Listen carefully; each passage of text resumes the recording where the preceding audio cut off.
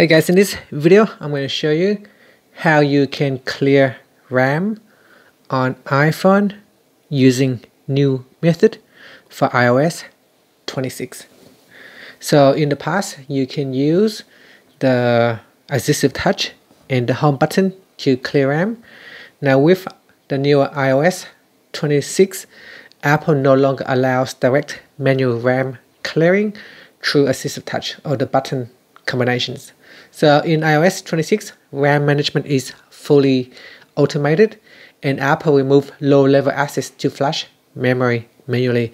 However, you can still uh, use an alternative method and that is to force the phone to restart. So press on the volume up and volume down button quickly to let and let go.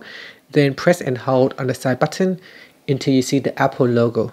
So let's try it now. Volume up, volume down, and then press and hold on the side button. Now continue to hold on the side button. Continue to hold until you see the Apple logo appear on the screen. Now this will restart the device and fully clear active RAM and background processes, just like a fresh reboot.